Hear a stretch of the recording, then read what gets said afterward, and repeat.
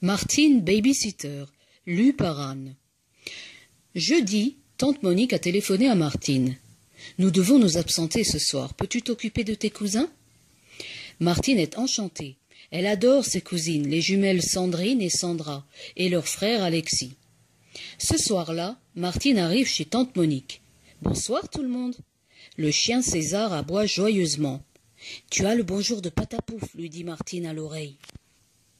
Vite, vite, la voiture attend, dit tante Monique. Nous rentrerons tard dans la soirée. Alexis doit terminer ses devoirs. Après le repas, Martine vous mettra au lit. N'oubliez pas de faire votre toilette. Et surtout, soyez sages, les enfants. Oui, oui, c'est promis. Au revoir. Papa et maman sont partis. On va bien s'amuser. Attendez, où allez-vous? Jouer à cache-cache dans les chambres, dit Sandrine. On va sauter sur les lits, dit Sandra. Non, non, on ne court pas dans les escaliers. Descendez, crie Martine. Je vais vous lire une belle histoire. Écoutez bien, c'est l'histoire du lièvre et de la tortue.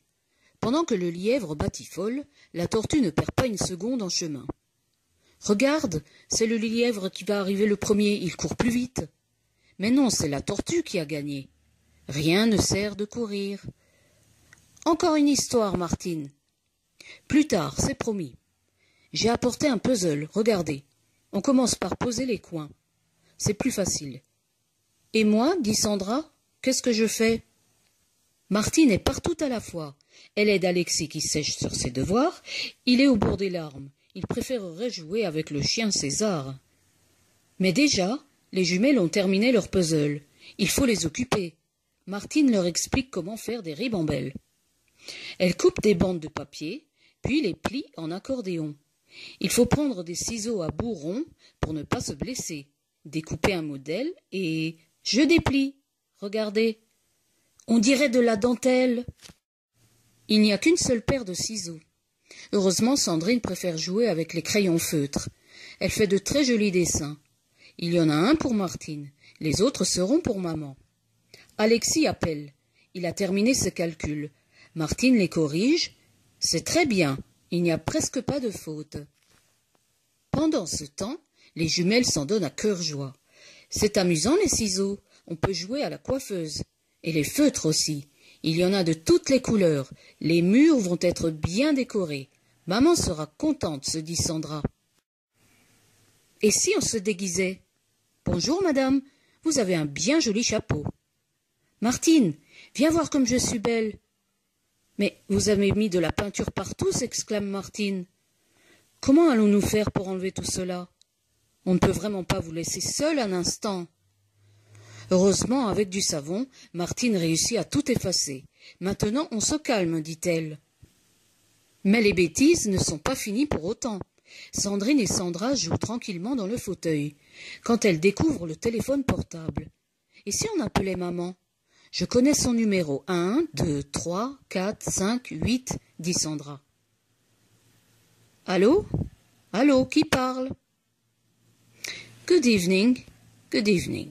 Mais c'est un Américain. Vous avez fait n'importe quoi. Cette fois, Martine n'est pas contente. Excusez-nous, c'est une erreur, monsieur. Au revoir. Pendant cet intermède, Alexis a enfin terminé ses devoirs.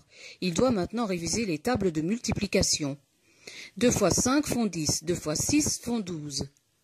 Moi aussi je sais compter, dit Sandra. Dis-moi, Sandrine, combien font deux plus trois?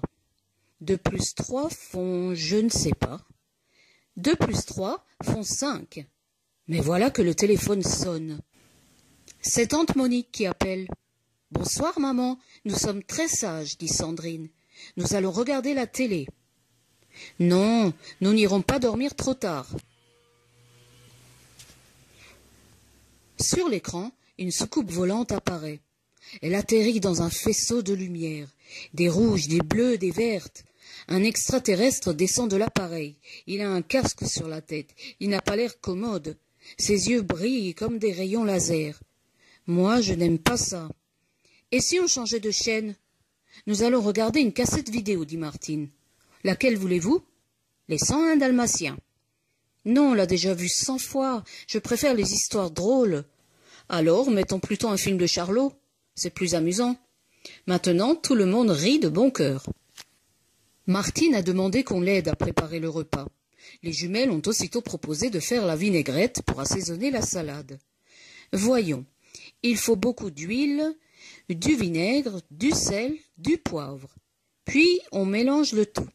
Et si on ajoutait du sucre? Ça sera certainement meilleur. Maman met parfois des oignons, mais ça pique. On a les yeux qui pleurent. À table, les enfants, il y a du poulet, du jambon. Moi, je préfère la crème glacée, dit Sandrine. C'est l'heure du bain. La baignoire est remplie de mousse. Alexis fait des bulles de savon. On s'éclabousse, on rit. César s'amuse beaucoup lui aussi. Puis on enfile les pyjamas.